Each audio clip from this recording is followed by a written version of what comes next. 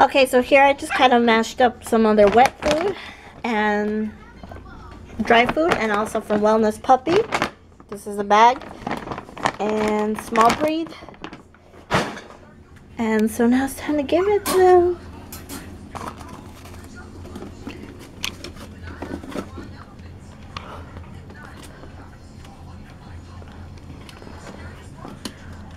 Alright. So there's Dallas, and then I believe Rex, that's what you're going to name him. Let me know so I can start calling him that. Whatever name you picked. And then here's the two little girls. And so they're eating. And then for Achilles, he only gets half a cup right now since, you know, he's not eating anything. And for those of you who wanted to know, um, Scarlett was on this food as well as Achilles. And this is the same brand from the puppy food. And this is a toy breed complete health, adult deboned chicken, brown rice, and peas recipe. It's kept them real healthy and everything's been fine with them. So this is what I give them. And so, and then I also got this bin at PetSmart. Super handy and convenient.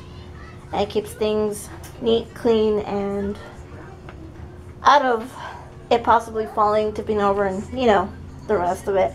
And it comes with this lid, put it on, and it spins shut. And then again, for opening it,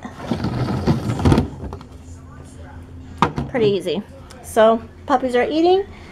And if y'all have any questions anymore on their food, um, let me know. And then this is the puppy schedule I have. Um, I'm going to go slowly through it so in case y'all wanted to see and get more of an idea. Um, you don't have to follow this and obviously it's going to change once the puppies are older and they're completely weaned off of mommy. But since right now um, with the kids for the summer, I mentioned in my previous video, I need to have this handy.